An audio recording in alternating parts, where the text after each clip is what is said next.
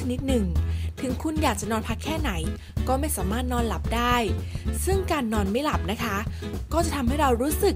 ผมอาจารย์นัทสิทธิ์กิริปัญญาธนกิจ รองคณบดีฝ่ายกิจการนักศึกษา คณะนิเทศศาสตร์ มหาวิทยาลัยธุรกิจขอพ้นแล้วพ้นแล้วเชิญไปโคกระนาหมู่จงอางอยู่หันต้มเล่นหมูคนสวัสดีครับ ขอต้อนรับเข้าสู่รายการใจเท่ากัน รายการโทรทัศน์ภาษามือที่เต็มไปด้วยสาระบันเทิง เราได้รับการสนับสนุนเป็นอย่างดีจากสำนักงานกองทุนสนับสนุนการสร้างเสริมสุขภาพ และมหาวิทยาลัยธุรกิจบัณฑิตครับ ผม วัชรินทร์ชาลี รับหน้าที่เป็นพิธีกรครับ สัปดาห์นี้เรายังอยู่กันที่จังหวัดราชบุรีนะครับ กับภารกิจที่ชื่อ ตามรอยโอ่งมังกรครับ สัปดาห์ที่แล้วทั้งคู่ปฏิบัติภารกิจอะไรไปบ้าง เราไปย้อนชมเหตุการณ์กันครับ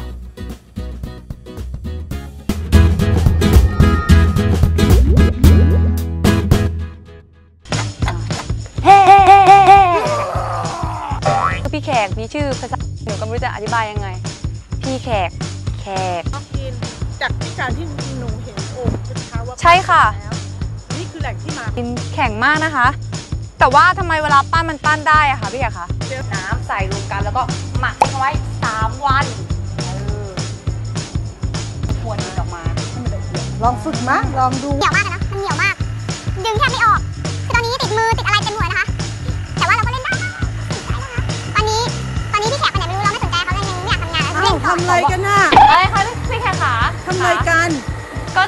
ลองลองเล่นดินค่ะพี่แขกเล่นได้เมื่อไหร่งานมันจะเสร็จล่ะแล้วเมื่อไหร่จะโม่ดินเสร็จ โม่ดินเท่านี้มันปั้นไม่พอดินหรอกเสียมัเวนลาเสียงานไม่พอแล้วหรอดินคะเล่นไปแล้ว เดี๋ยวเราต้องมาทำการทำใหม่อีกต้องเอามาใส่หมักใหม่ แล้วถึงจะมันมันเสียเวลาแล้วก็เสียดินด้วยนะคะ ไม่ไม่พอแล้วว่าหรอคะถ้าดินเท่านี้ปั้นลูกนึงก็ไม่ได้ เสียดินแล้วดินถ้าตากแดดไว้มากๆอะมันจะแข็งนะคะคะไม่ได้เหรอคะ เขาไม่ให้เล่นใช่ไหมคะพี่แขก ไม่ได้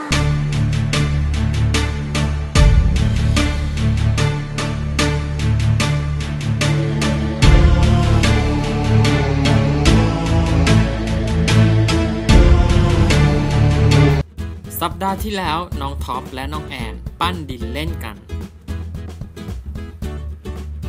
ไม่ได้ตั้งใจทำภารกิจจนพี่แขกเข้ามาว่า ทำเอาทั้งคู่หน้าจอยไปเลย เห็นแล้วน่าสงสารมากครับ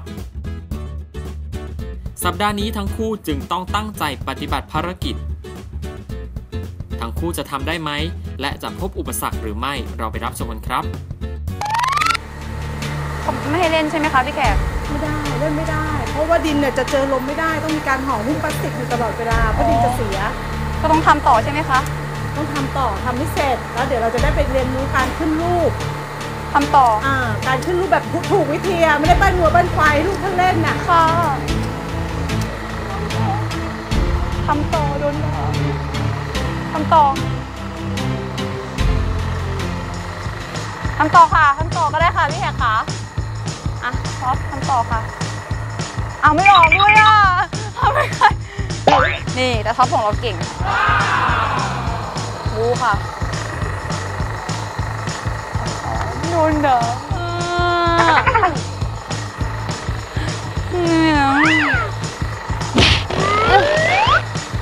นี่ตรงนี้ตรงนี้ค่ะเออเหนื่อยแล้วเมื่อไหร่จะเสร็จอะอืมโอ่งหนึ่งใบ ยากเย็นแสนเข็นเอาไม่ออกอะ ปัญหาและอุปสรรคของเราคือเผลอเล่นกันครับ เราปั้นดินเล่น คว้างดินใส่กัน พี่แขกเข้ามาว่าเดี๋ยวดินไม่พอนะ เดี๋ยวดินเสียนะ เราก็ขอโทษพี่เขาแล้วไปขนดินสองรอบเพื่อไถ่โทษ เพราะเราอยากทำภารกิจต่อให้สำเร็จ อีกอย่างเราก็ทำผิดจริง ๆ ครับ โอ้ยเมื่อไหร่จะเสร็จอะขี้เกียจแล้วว่าเนี่ยเหนื่อยไหมอะท็อปเหนื่อยไหมเหนื่อยแล้วว่า อยากปั้นแล้วว่าอยากปั้น อยากปั้นยัง อยากปั้นไหมอยากปั้นแล้วอะอืมเมื่อไหร่จะกินสิกินขี้โขนนี่ตั้งเยอะแล้วเนี่ยเหนื่อยเนาะอยากทำอย่างอื่นแล้วอะอ้าวทำอะไรกันยังไม่เสร็จอีกเหรอ ยังไม่เสร็จค่ะพี่แคร์พี่แคร์เหนื่อยแล้วว่าหนูสองคนอยากปั้นแล้วอะอยากปั้นแล้วเนาะอยากปั้นเหนื่อยแล้วอะปั้นขนาดพี่ให้ทำดินยังเล่นกันเลยแล้ว ถ้าไปปั้นแล้วไปเล่นกันมันยิ่งเสียหายใหญ่เลยเพราะนั่นเป็นมอเตอร์อันตรายด้วย พี่แคร์นะพี่พี่แคร์บอกว่าไม่ให้ปั้นอืมพี่แคร์ดุอืมเพราะว่าถ้าให้พี่ให้ปั้นเอ่อสัญญาได้ไหมว่าจะไม่เล่นกันแต่ตั้งใจปั้น สัญญาค่ะ Okay. ให้สัญญา สัญญาก่อนแล้วจะให้ไปปั้น สัญญา สัญญาหนูสองคนสัญญาค่ะ ถ้าสัญญาเสร็จแล้วก็ต้องทำงานด้วย จากการที่เราดื้อเมื่อตะกี้นี้ เล่นกันในขณะที่ทำงาน ซึ่งการเล่นกันอย่างเนี้ยบางทีมันมีอันตรายกับร่างกายเรา มีอันตรายมีผลเพราะว่ามันอยู่กับเครื่องจักรอูแล้วหนูต้องทำยังไงอะคะพี่แขก ก็เข็นดินไปให้พี่สองคันรถ ฮะ เข็นดินเอาไปไว้ที่แป้น เข็นดินไปทิ้งที่แป้น เข็นดิน ต้องเข็นดินสองสองรอบอืมถึงจะได้ปั้นโอ่งอะ ถึงจะได้ปั้นโอ่ง นี่ปานีนะ ปกติมันต้องเต็มคันรถนะนี่นิดเดียว พี่แขกขารอบเดียวได้ไหมคะ ไม่ได้ห้ามต่อรองไปเลยไม่ได้ว่าชีวิตของคนหนึงได้โอ่งมาแต่ละใบแล้วมาเข็นดินตักดินโม่ดิน แล้วก็ต้องมาเข็นดิน ฉันทำไปเพื่อใครทำไมเฉพาะภารกิจวันนี้นะ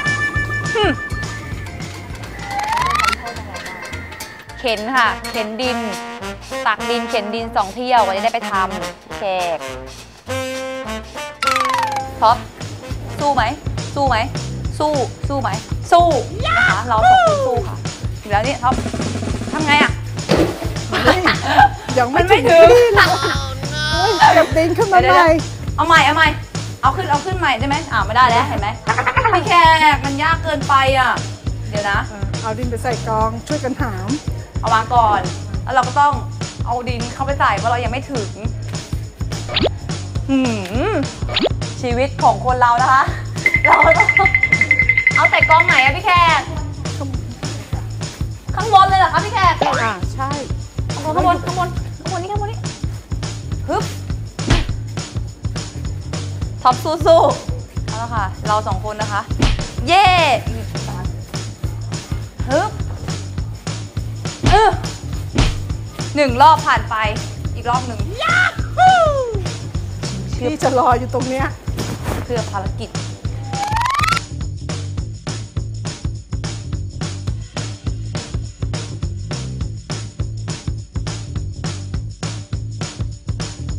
รอบที่สองนะคะมาแล้ว อันนี้ อันนี้ต้องยกไว้ข้างบนไหมคะ เสร็จแล้วเย้เสร็จแล้วค่ะ ต่อไปเราก็จะไปปั้นกระโดดมังกรค่ะ เราไปดูกันว่าเราสองคนจะทำภารกิจนี้สำเร็จไหมนะคะ รู้สึกยังไงเหรอคะพอรู้ภารกิจ มันก็รู้สึกตื่นเต้นเล็กๆนะคะ เพราะว่า คือเราหูดีอะเราก็โอเคใช่ไหมพี่ปั้นโอ่งมันคงไม่ไม่ยากสำหรับการอธิบายอ๋อนี่คือการนี่นี่การคุณลุงปั้นด้วยการใช้นี่เหรอมอเตอร์ หรือแป้นหมุนอ๋อคุณลุงนี่สวัสดีค่ะ โอ้โห ใช้พลังเยอะไหมคะคุณลุง ขึ้นแล้ว ไม่เยอะนะคะแต่คือนี่สังเกตนะคะ กล้ามคุณลุงนี่ เปี้ยเปี้ยๆนะคะโอ้โหคุณลูกค้าตีแรงมากแข็งแรงมาก ลุงแข็งแรงมากนะคะ ต้องใช้พลังเยอะมากนะคะในการที่จะปั้นนี่ค่ะ อันนี้ใช้การดึงดินเอา ดึงดินมันขึ้นมา ดึงดินต้องดึงดึงขึ้นมาโอ้นี่นี่นี่นะคะนี่นะคะ ออกมาเป็นทรงแบบนี้โอ้โหลุงทำเร็วมาก แต่สำหรับเขาเนี่ยเราก็ไม่รู้ว่าเราจะอธิบายเขายังไง ถ้าเกิดมันถึงเวลาจะต้องค่อยๆ เอามือไปลูดอย่างเงี้ยเราจะอธิบายเขายังไงก็คือ มันก็รู้สึกเป็นกังวลนิดเดียวค่ะนิดเดียวจริงๆ เพราะว่าที่เหลือเราคิดว่าเดี๋ยวเราเอาไปสู้ตายอันดับหน้าเอาค่ะแล้วถ้าอย่างหนูสองคนจะทำเนี่ยทำได้ไหมคะ ได้ แต่จริง ๆ มันต้องใช้เวลาฝึกเยอะอะนานหนูต้องใช้เวลาฝึกนาน ต้องกลับไปนานโม้ดินใหม่อีกนานนะ โอ้โห ยากอะยากอะพี่แขกแต่ว่าหนูเชื่อว่าคุณลุงก็ต้องมีความสามารถในการสอนพวกหนูสองคนให้ทำได้ใช่ไหมคะลุงขาเดี๋ยวคุณลุงจะสอนเราให้เราทำขั้นตอนไหนที่ยากที่สุดในการปั้นโอ่งนะคะ ถ้าสำหรับตัวหนูเองนะ หนูว่าไอตัวไอไอตอนตอนขึ้นรูปอะขึ้นรูปอะหนูขึ้นไม่เป็นอะหนูทำแล้วก็มันก็จะยุบไปเรื่อยๆอะเอาใครก่อนดีอะแอนก่อนดีกว่าแอนก่อนนะแอนก่อนนะ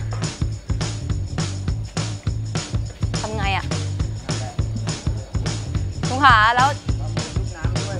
เอามือชุบน้ำด้วย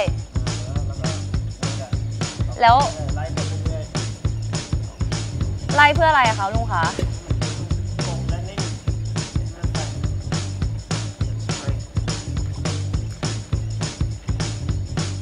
โอ้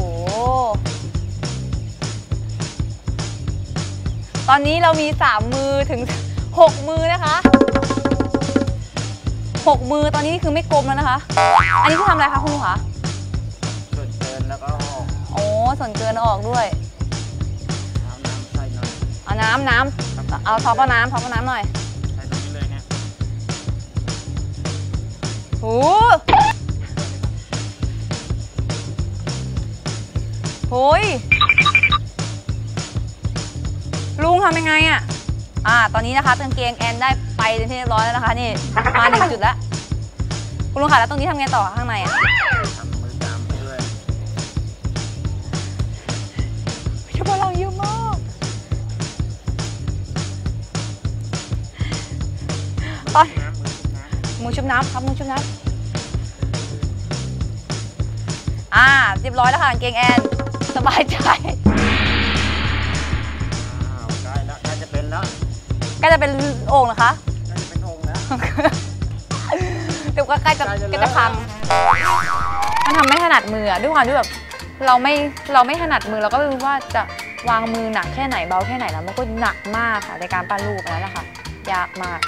อะท็อปท็อปลองมานั่งตรงนี้มั่งท็อปท็อปลองมานั่งตรงนี้บ้างโอเคเออเดี๋ยวแอนไปลองไปยืนดูบ้างท็อปต้องสู้ๆนะเพราะตอนนี้แอนเลอะหมดแล้วครึ่งขากางเกงละท็อปสู้ๆท็อปสู้ เราแอบอู้ค่ะ ให้ท็อปทำเป็นคนเดียวตอนนี้ เราก็อู้สบายท็อปสู้สู้ท็อปสู้ตายท็อปไว้ลายสู้ตายสู้สู้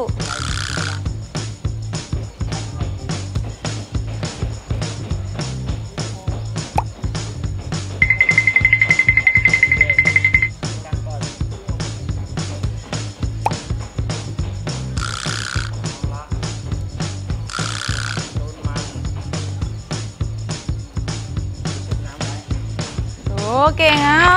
เก่งมากค่ะท็อปทำเป็นไล่ส่ง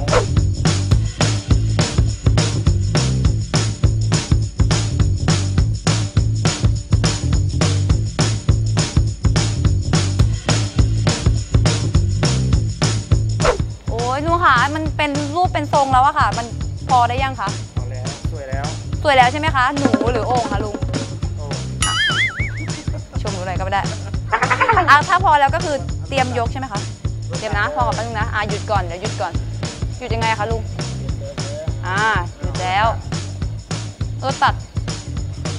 ต้นเลยนะลุงเนี่ยมันแตกอะอ้าวเก่งมากแล้วไงต่อคะเราจะยกแล้วเดี๋ยวยกเดี๋ยวแป๊บนึงนะแป๊บนึงนะมือติดติดไปนั่นละหนึ่งสองสาม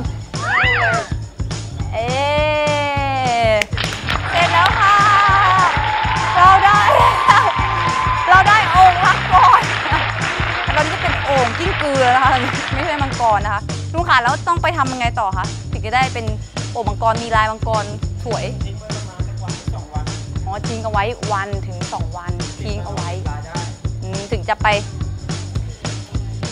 อืมแล้วถึงจะไปวาดวาดลายได้ แต่เดี๋ยวเราจะไปขั้นตอนการตีกัน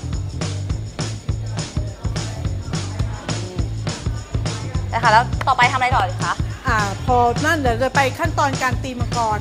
ตีมังกรด้วย เอ่อตีโอ่งอ๋อ ตีโอ่งตีมังกเอ่รอการตีก็คือแบบว่าการเก็บรอยมันอะไรเงี้ยอันนี้มันของต่อเดียวไม่เห็นรอย แต่ถ้าของสองต่อจะมีร่องรอยของการต่อรอยนิ้วมืออเราก็ต้องไปตีเก็บลายมันตีเพื่อให้มันเนียนอย่างนี่นี้ใช่ไหมคะ ใช่แล้วก็ให้เป็นทรงตามที่เราต้องการขั้น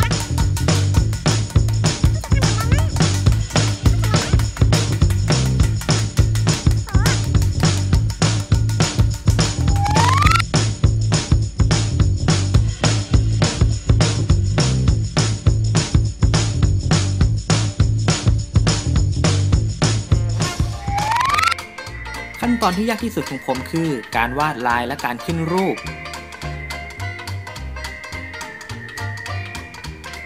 ผมต้องดูเขาทำสองขั้นตอนนี้ยากที่สุดครับ และตอนนี้ทั้งสองคนได้ตกลงกันว่าจะปั้นโอ่งใบเล็กๆ น่ารักน่ารัก ซึ่งทั้งคู่ต้องขนดินถึงสองรอบเพื่อจะนำมาปั้นโอ่งเมื่อถึงขั้นตอนการขึ้นรูปก็ยากมาก แต่ทั้งคู่ก็ตั้งใจทำจนสำเร็จในเวลาอันรวดเร็วครับ ตอนนี้เราไปพักรับชมเคล็ดลับสุขภาพที่มีคำแนะนำสำหรับผู้ที่นอนไม่หลับมาให้ชม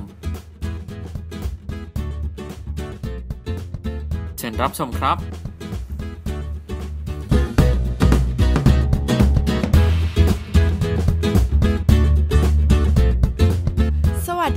ดิฉันร่มขวัญสายทอง ขอต้อนรับคุณผู้ชมเข้าสู่ช่วงเวลาดีๆ ของการดูแลรักษาสุขภาพของตัวเองนะคะ คุณผู้ชมทราบไหมคะว่าการนอนไม่หลับเป็นอาการของโรคชนิดหนึ่ง ถึงคุณอยากจะนอนพักแค่ไหน ก็ไม่สามารถนอนหลับได้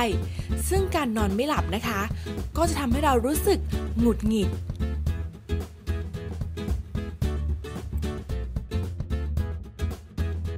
ร่างกายอ่อนเพลีย เพราะนอนไม่เต็มอิ่ม และทำให้สุขภาพของเราเสียค่ะ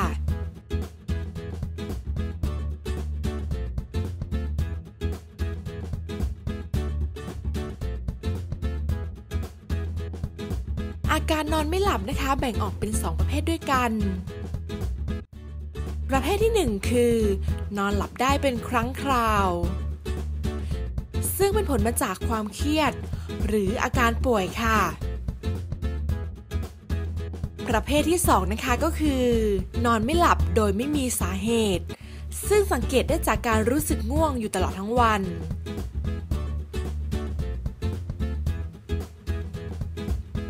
ซึมเศร้าและหงุดหงิดง่าย โดยไม่มีสาเหตุค่ะ แต่วันนี้เรามีวิธีแก้ไขมาให้คุณผู้ชม 7 ข้อด้วยกันค่ะ วิธีที่ 1 นะคะากคุณผู้ชมรู้สึกง่วงให้รีบไปนอนพักทันทีวิธีที่2นะคะในช่วงบ่ายเวลาประมาณบ่าย2โมง คุณผู้ชมสามารถนอนพักได้ แต่ไม่ควรนอนในช่วงเย็นนะคะ เพราะจะทำให้ตอนกลางคืนนอนไม่หลับค่ะ วิธีที่ 3 นะคะ เมื่อเราตื่นแล้ว ไม่ควรจะนอนต่อนะคะ ให้รีบไปทำธุระส่วนตัวเลยค่ะ วิธีที่ 4 นะคะ ควรตื่นนอนให้ตรงเวลาทุกเช้าเสมอค่ะ วิธีที่ 5 นะคะ ควรเริ่มวางแผนออกกำลังกาย เพราะจะทำให้นอนหลับสบายค่ะ วิธีที่ 6 นะคะ กาแฟและบุหรี่ เป็นสิ่งที่ทำให้เรานอนไม่หลับค่ะ ดังนั้นไม่ควรดื่มกาแฟและสูบบุหรี่ก่อนนอนค่ะ วิธีที่ 7 นะคะ การใช้ยานอนหลับ เมื่อรับประทานเป็นนานๆจะเกิดอาการติด จึงไม่ควรรับประทานเอง หรือควรปรึกษาแพทย์ก่อนใช้ค่ะ ราะยานอนหลับมีผลต่อการนอนของเรานะคะ คุณผู้ชมต้องรักษาสุขภาพของตัวเองนะคะ พักผ่อนให้เต็มที่แล้วก็หลับให้ยาวๆเลยค่ะ ขอขอบคุณข้อมูลจาก สสส เว็บไซต์ www.thaihealth.or.th ค่ะ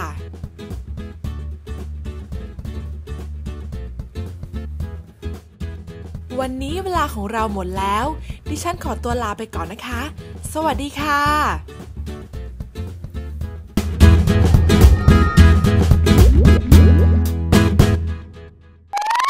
ไปดูการขึ้นลายแล้วค่ะพี่แขก เดี๋ยวไปดูการติดลายมังกร ถ้างั้นไปดูมังกรจะมาแล้วใช่ไหมคะ ใช่ ไปดูมังกร ใช่ ไปเลยค่ะพี่แขกนำเลยค่ะได้เลยมังกรแล้ว เอาแล้วค่ะ วิธีการติดลายมังกร อันนี้เป็นการนี่ลายบ่า อ๋อ ร้านเส้นที่คอของโอ่งโอ้โห ชอบอะชอบอะคุณป้า ท่าเมื่อกี้หนูชอบมากเลยอะเดี๋ยวคุณป้าสอนหนูทีนะ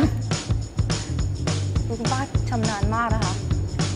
นี่ค่ะแป๊บเดียวได้ไปสองเส้น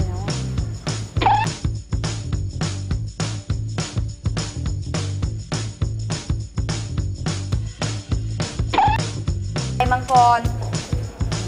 โอ้เนี่ยลายวางพิมพ์เฮ้ยมาแล้วมังกรเรามาแล้ว สวยมาก นี่นะคะแค่เอาพิมพ์ไปแล้วก็เอาไอ้นี่รูปรูปรูปรูปนะคะ ออกมาเป็นมังกรอย่างสวยงามอ่านี่อันนี้คือเสร็จแล้วเหรอคะคุณป้าคะ เสร็จแล้ว เสร็จแล้วค่ะ ทำไมมันง่ายจังอะคุณป้า ลองดู เสร็จแล้ว เสร็จแล้ว ง่ายมาก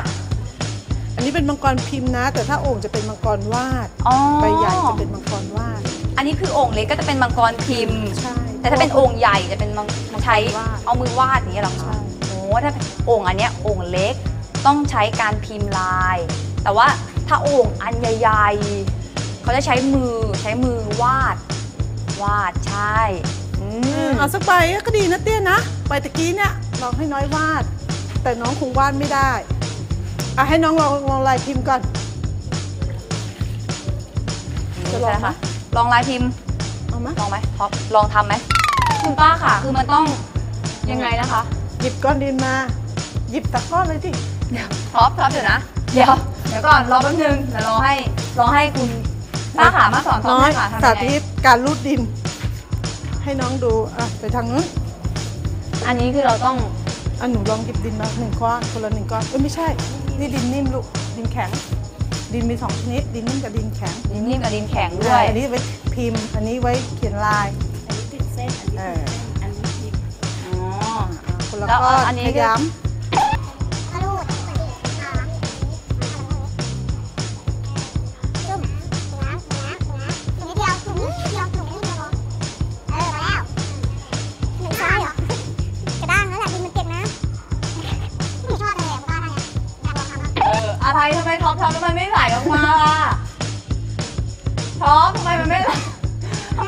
อย่างนี้ เอาอันนี้อะท็อปเอาอันนี้ท็อปเอาอันนี้อันนี้เลยเอออันนี้วางไว้ทำต่อ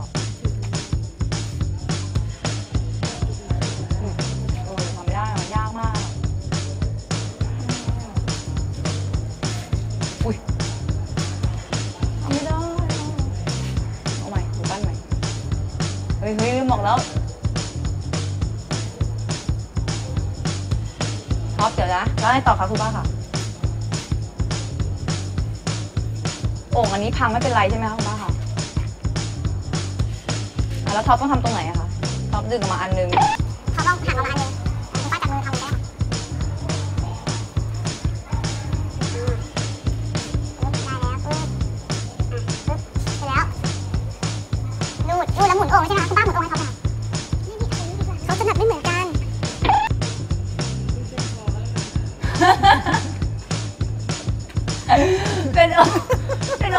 ไรเนี่ย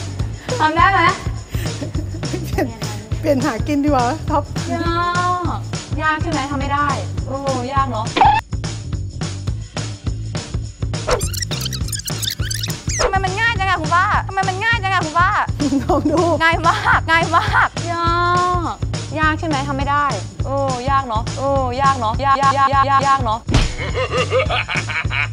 เอาพิมพ์มังกรดีกว่าคุณป้าค่ะหนูว่ามังกรน่าจะไม่ยาก ดี๋ยวเราเดี๋ยวเราเอามังกรติดดีกว่า มังกรทำมังกรเออนี่คุณป้าทำให้เราเดี๋ยวเรารอรอแป๊บนึงนี่ป้าค่ะเอามังกรเลยค่ะหนูอยากได้มังกรอ่าต้องใช้ดินนี้ ต้องเอาตักใส่มือไว้เหรอะคะหน่อยเดียวหน่อยเดียวนนิดนิดเดียวนิดเดียวพอไหมคะ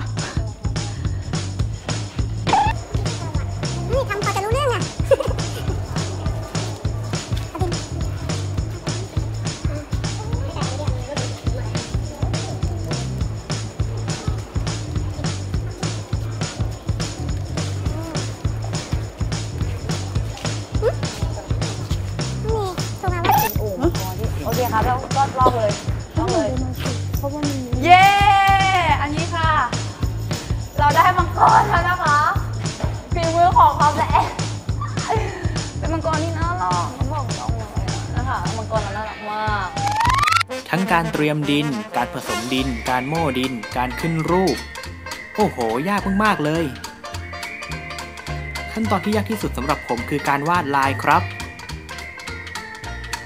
แต่ตอนลอกลายจากแบบผมทำได้นะครับ เมื่อเราทำเสร็จแล้ว เราก็ได้โอ่งมาครับค่ะโอ้โหอันนี้นะคะ ได้แล้วฝีมือเราสองคนท็อปนี่ใช่ไหมมีลายมังกรเรียบร้อยพี่แขกขาแล้วทีนี้ เราจะได้โองค์มังกรสำเร็จรูปมันต้องไปทำอะไรต่อคะอ่าพอเราติดลายเสร็จแล้วใช่ไหมคะ เราก็จะต้องเคลือบอ๋อเคลือบก่อนาน้ำเคลือบมันก็ไม่มีส่วนผสมอะไรมากมาย เป็นขี้เลนที่อยู่ตามบ่อตามบึงอืมตามผสมกับขี้เถ้าอ๋อ ในอัตราส่วนที่พอเหมาะ แล้วก็จะมีค่ะ สนิมเหล็กค่ะเพื่อให้เกิดความมันเงา ก็มีเท่านี้ค่ะก็พอเสร็จแล้วอันนี้ปุ๊บเขาต้องไปเคลือบ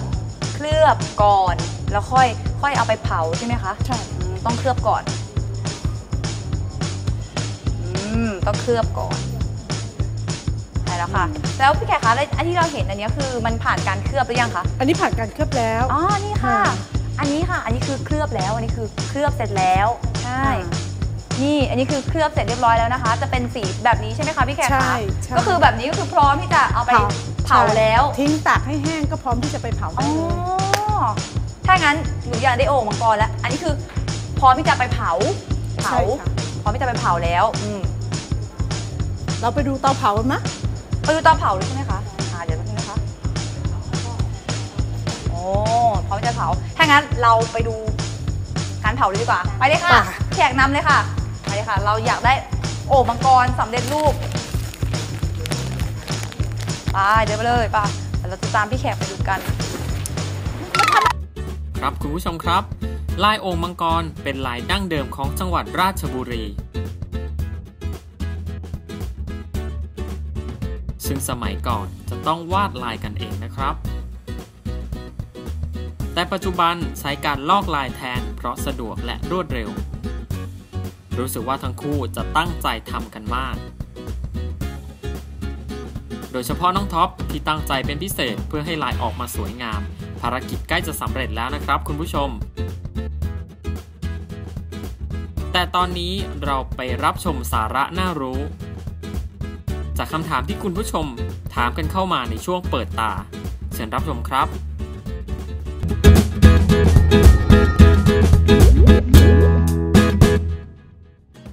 คำถามเปิดตาวันนี้ถามว่า วิธีสร้างความมั่นใจเมื่อต้องสื่อสารต่อหน้าสาธารณชนทำอย่างไร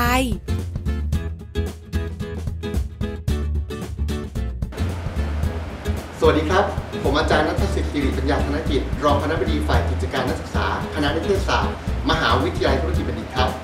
หลาย ๆ ท่านนะครับคงจะเคยประสบกับปัญหา เวลาที่อยู่ต่อหน้าสาธารณชนมาก ๆ นะครับ บางท่านก็อาจจะเกิดอาการตื่นเต้นไม่สามารถที่จะควบคุมตัวเองได้ ทั้งที่ตัวเองนั้นเป็นคนที่มีความมั่นใจในตัวเองสูง สามารถที่จะสื่อสารกับคนได้อย่างดีนะครับ ปัญหาเหล่านี้ไม่ใช่ปัญหาใหญ่หลวงหรือเป็นเรื่องใหญ่ เพราะปัญหาพวกนี้ไม่ว่าจะเป็นดาราศิลปินหรือคนที่อยู่เบื้องหน้านะครับต่างเจอมาหมดแล้ว วันนี้เราก็มีเทคนิควิธีดีๆนะครับที่จะมาแก้ปัญหาเหล่านี้จากท่าน ให้กลายเป็นคนที่มีความมั่นใจเมื่อต้องอยู่ต่อหน้าสาธารณชนครับ วิธีการแก้ปัญหาเหล่านี้ไม่ยากเลยครับ ข้อที่หนึ่งนะครับทุกท่านจะต้องมีสมาธิในการที่จะให้ความสนใจในขณะสิ่งที่เราทำอยู่สิ่งที่เราเป็นอยู่ เราจะต้องรู้สึกว่าคนที่อยู่รอบข้างเราทั้งหมดนะครับ คือมิตรที่ดีมิตรภาพไม่ได้มีใครที่ต้องการจะมาดูหรือว่าจะมาคอยจับผิดเรานะครับ เมื่อเราคิดแบบนี้ได้แล้วเนี่ยเราจะทำให้เราเนี่ยกล้าพูดกล้าแสดงออกในเรื่องที่เราเตรียมมา หรือนำนำเสนอสื่อสารในสิ่งที่เราเตรียมมานะครับ วิธีที่สองครับ ทุกท่านจะต้องมีวิธีการลดความเครียด หรือการลดความผ่อนคลายตัวเองเนี่ยให้รู้สึกสบาย ในสถานการณ์ต่างๆ ด้วยด้วยตัวท่านเองครับ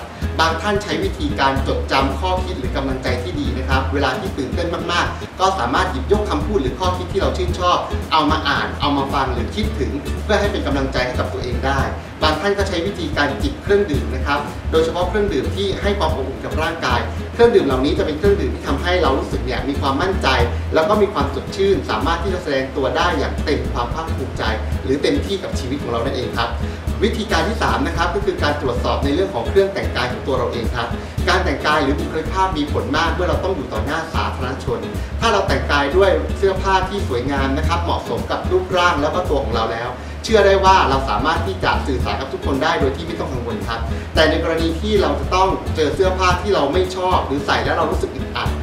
ตอนนี้นะครับจะเป็นปัญหากับเราแล้ว เพราะว่าทุกครั้งที่สื่อสารออกไป เราอาจจะต้องระวังตัวและต้องคอยเช็คเสื้อผ้า คอยจับเสื้อผ้าเราเสมอๆเพราะฉะนั้นเนี่ยเรื่องแบบนี้ก็เป็นเรื่องที่จะทำให้เราเกิดความประมาทได้ง่ายครับทรงผมเป็นสิ่งที่สำคัญมากนะครับ โดยเฉพาะสุภาพสตรี เพราะสุภาพสตรีบางท่านเนี่ยเวลาที่ออกงานแล้วเนี่ยไม่ได้ดูแลทรงผมตัวเองให้ดีปล่อยทรงผมไว้ยาว เพราะฉะนั้นจะต้องคอยรวบคอยปัดคอยเสย เพราะฉะนั้นลักษณะเหล่านี้ก็จะเป็นลักษณะที่ทำให้เราเนี่ยหมดความมั่นใจได้ง่ายๆครับ วิธีการที่สี่นะครับ เมื่อเราต้องเริ่มสื่อสารหรือนำเสนอ เมื่อเรากลายเป็นจุดสนใจแล้วเนี่ยทุกคนมองมาที่เรา วินาทีแรกก่อนที่เราจะพูดหากเรายังตื่นเต้นนะครับ ให้เราหา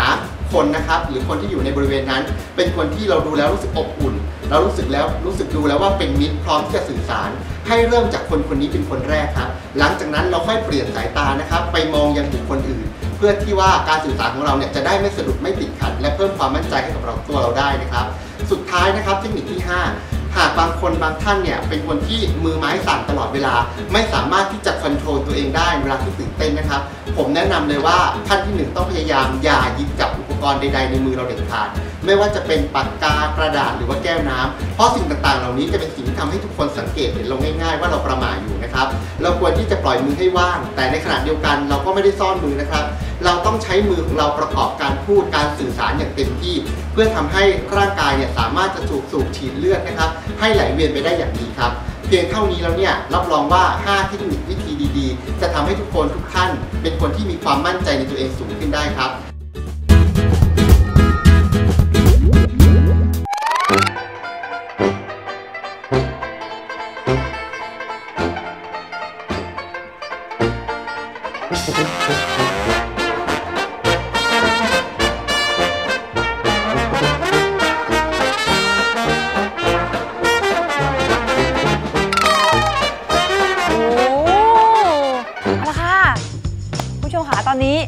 สองคนอยู่หน้าเตาไฟใช่ไหม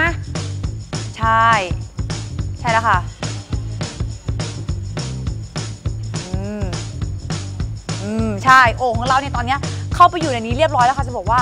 ในเตาอันนี้นะคะ ร้อนมาก ร้อนแบบร้อนมากๆนะคะ คือถ้าพวกเราเข้าไปอยู่ข้างในเนี้ยเรียกได้ว่าผงทุลีนะคะ ดูไม่ออกว่าไหนเป็นทรายไหนเป็นกระดูกของเราเลยนะคะ ดูแยกกันไม่ออกเลยเพราะฉะนั้น อย่าไปอยู่ใกล้ค่ะขนาดเรายืนอยู่ตรงนี้นะคะ ยังรู้สึกร้อนเลยเนาะร้อนไหมอยู่ใกล้ๆร้อนนะคะ ทีนี้เราสองคนก็ใจจดใจจ่อรออย่างตื่นเต้นนะคะ ตื่นเต้นมันจะได้เห็นโอ่งข้างในค่ะ แต่ว่าเราก็ต้องใช้เวลาในการรอค่ะผู้ชมขาเราสองคนก็ขอตัวไปรอก่อนนะคะ เพราะว่าตอนนี้ไม่รู้ว่ากี่โมงแล้วนะคะ แต่ว่าคงจะนานอยู่ค่ะ เดี๋ยวเราไปรอพร้อม ๆ กันดีค่ะ ว่ามันจะออกมาเป็นยังไงค่ะไปเดี๋ยวเราไปรอเรามานั่งรอตรงนี้ดีกว่า นั่งรอตรงนี้ดีกว่า นั่งรอนั่งรอนั่งรอ เมื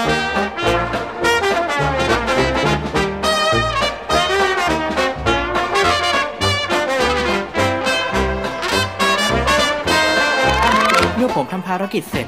ก็รู้สึกโล่งอกครับ และเราสองคนก็ดีใจที่ภารกิจของเราสำเร็จ พี่แอนน่ารักมาก ๆ เลยครับ โอ้โห ในที่สุดค่ะ เราก็ได้มาแล้วนี่ท็อปนี่ของเราค่ะ ผลสำเร็จของเรา ภารกิจของเราสำเร็จแล้ว นะคะ แต่ว่ากว่าจะเสร็จเนี่ยก็ไม่ได้ง่าย ๆนะคะ คือมันยากมากเลยใช่ไหมคะพี่แขกคะ ใช่คืคืออว่าการผลิตมันก็มีขั้นตอนยุ่งยากมาก แล้วก็ต้องใช้เวลาในการผลิตนานอ๋อคือใช้หลายวันเลยใช่ไหมคะ อย่างน้อยๆ ก็มีถึงเกือบ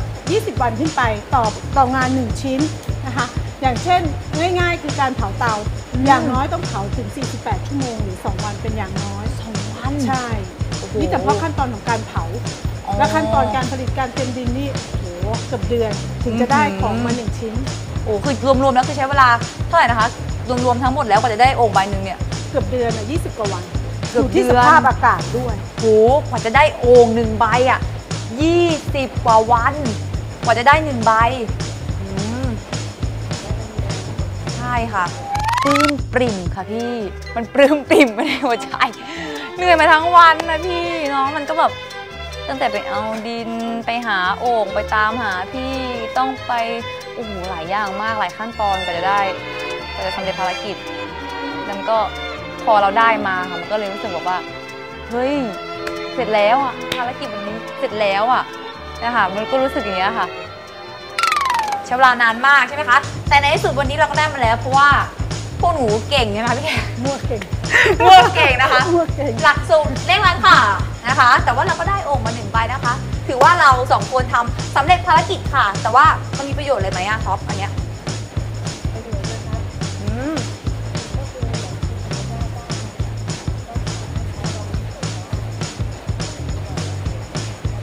อืมลองน้ำฝน โอ้โห เห็นไหมคะ นอกจากประโยชน์หลาย ๆ อย่างที่ท็อปบอกไปนะคะ มันก็มีประโยชน์อีกเยอะแยะมากมายเลยนะคะ ที่แบบหลายๆ คนก็พอจะทราบอยู่แล้วนะคะพี่แขกแต่ว่าแอนอยากฝากอีกอย่างหนึ่งค่ะพี่แขกอย่างที่ว่าหนูสองคนเนี่ยมาสัมผัสวันนี้นะคะ การทำโอ่งเนี่ยไม่ใช่ทำง่ายๆนะคะ มีคนแก่คนเฒ่า ส่วนใหญ่จะเป็นคนแก่คนเฒ่าใช่ไหมคะใช่ค่ะคือเป็นรุ่เก่าเป็นภูมิปัญญาท้องถิ่นเลยเนาะพี่แขกเนาะอันนี้แหละค่ะแอนอยากให้ทุกคนนะคะ อนุรักษ์เอาไว้ค่ะ เพราะว่าโอ่งมังกรนะคะมันมีมานานมาก หลังจากที่แอนได้รู้จักประวัติของมันหลาย ๆ อย่างแล้วรู้สึกว่า มันไม่ธรรมดาค่ะ มันน่าอนุรักษ์เอาไว้มากๆเลยนะคะฉะนั้นทุกคนนะคะ ถ้าใครอยากจะรู้มันทำยังไง ลองได้ ลองมาทำเหมือนกับแอนกับท็อปวันนี้นะคะ ลองเข้ามาได้ค่ะ แต่วันนี้ค่ะ แอนกับท็อปไปแล้วสำเร็จภารกิจไป เรากลับพี่แขกคะหนูกลับก่อนนะคะ เออ คิดเองก่อน ไม่ค่ะพี่แขกหนูกลับแล้วค่ะค่ะท็อปเรารีบค่ะค่ะ กลับบ้านกัน ครั้งแรกที่เราพูดคุยกัน ผมก็พยายามอ่านปาก ใช้การเขียนใช้ภาษามือใช้ภาษาท่าทางทั่วไป แล้วเราก็เล่น พูดคุยกัน ผมก็พอเข้าใจนะครับ แล้วก็รู้สึกว่าพี่แอนเป็นคนนิสัยดีและน่ารัก ทัศนคติเปลี่ยนไปไหมคะกับคนคนเดียวกันที่ไม่ได้ร่วมงานกันอันนี้พูดความจริงเลยว่าสำหรับแอนเองนะมันมันเปลี่ยนนะ เพราะว่าเมื่อก่อนนะแอนไม่กล้าคุยคือแอนเคยมีความคิดว่าแบบเราคงคุยกับเขาไม่รู้เรื่องอะไรอย่างเงี้ยค่ะแล้วเขาคงไม่เข้าใจเรา แล้วก็แอนแอนเคยคิดแบบว่าเขาคงเป็นเป็นคนที่ดูแบบ ดูด้อยกว่าเราอะไรเงี้ยค่ะเคยคิดอย่างนั้นจริงๆนะคะ แต่พอวันนี้พอมามาเจอเขาจริง ๆอะเรารู้แล้วว่าเฮ้ยเขาเหมือนคนธรรมดาเหมือนกับเราจริง ๆ เพราะว่าเขากินเหมือนกับเราทุกอย่าง เสื้อผ้าก็แต่งดีๆเหมือนกับเรามีการสื่อสารเหมือนกับเราทุกอย่างเลย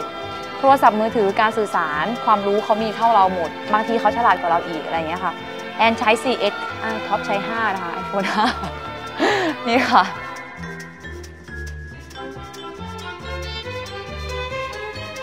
ผมขอเชิญชวนเพื่อนๆ คนหูหนวกให้มาร่วมสนุกในรายการใจเท่ากัน เพื่อเปิดประสบการณ์ใหม่ ๆ ลองมาฝึกใช้การสื่อสารกันนะครับ สวัสดีครับ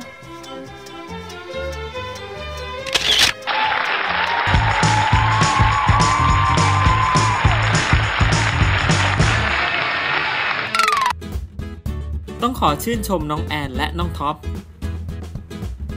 ที่พยายามตั้งใจทำภารกิจได้สำเร็จ แม้ทั้งคู่จะเผลอเล่นและถูกต่อว่าไปบ้าง แต่ตอนนี้ทั้งคู่ก็ปั้นโอ่งหนึ่งใบได้สำเร็จแล้วครับ ซึ่งไม่ใช่เรื่องง่าย ๆ เลยนะครับที่จะทำการทำโอ่งนอกจากจะมีประโยชน์แล้ว ยังช่วยสืบสารภูมิปัญญาของจังหวัดราชบุรีที่มีมาอย่างยาวนานถือเป็นโอกาสที่ดีที่พวกเขาได้ไปทำนะครับ และตอนนี้ภารกิจพิชิตใจตอนตามรอยโอ่งมังกร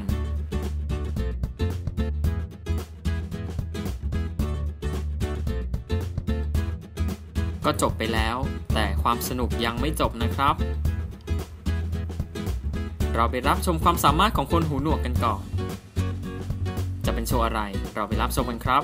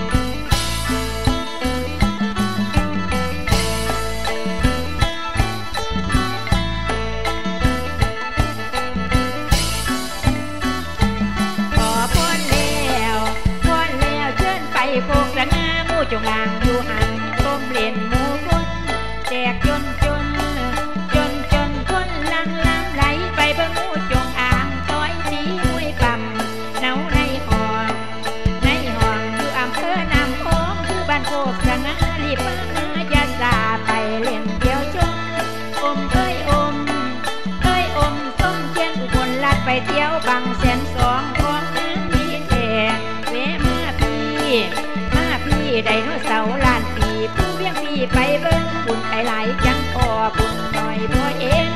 น้ำเลือดล้นเลือดล้นคือไหมมีเชิญนะบทฉันไปส่ง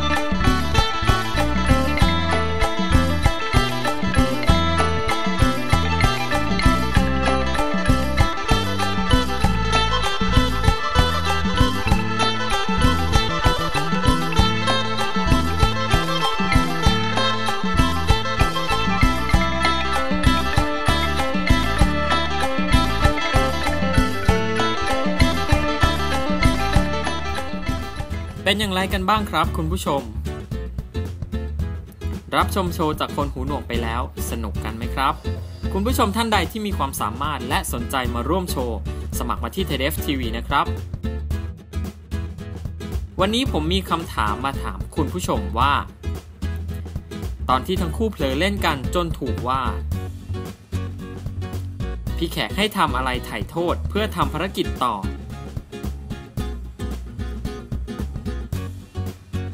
ระหว่าง 1. ขนดิน หรือ 2. กระโดดตบครับ หากทราบคำตอบแล้วสามารถส่ง SMS มาที่เบอร์ 0827224900 นะครับ เราจะสุ่มจับรายชื่อผู้โชคดีเพื่อมอบรางวัลให้ครับ เฉลยคำถามจากสัปดาห์ที่แล้วที่ถามว่า โอ่งที่มีชื่อเสียงของราชบุรี คือโอ่งอะไรคำตอบที่ถูกคือ 1. โอ่งมังกร ผู้ที่ตอบถูกคือคุณนราพรกันทา จากกรุงเทพมหานคร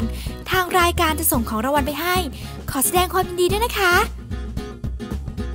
ผู้ชมท่านใดที่มีคำแนะนำติชมรายการ ส่งมาบอกเราได้ที่ Facebook ของ Thai Def TV หรือจ่ายเท่ากันนะครับางอีเมล thaideftv at hotmail com